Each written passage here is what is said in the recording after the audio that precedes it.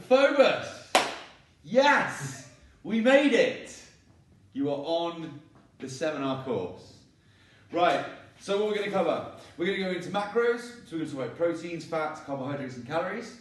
Uh, we're going to talk about food quality, recovery, a bit about supplements, but then what we're really going to kind of concentrate on is maximizing your membership. So, how you can come in, optimize that hour when you come in for your training session, but then also look at your recovery. So, we're going to look at how we can, if you come in, Dan smashed you, or Nick's really kind of put you through your paces, how you can then recover to be able to either go to work, play with the kids, whatever it is, the job in hand. Um, so in order to remember all of that, I'm going to need you to bring a pen, paper, um, uh, to be able to bring down some notes.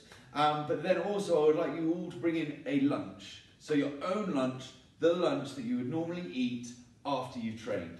So the day is going to be fun. We're going to have, we're going to have a couple of little um, workouts in it, um, and then we're going to discuss why we would eat certain foods. So I will see you on the 24th. I'm really looking forward to it.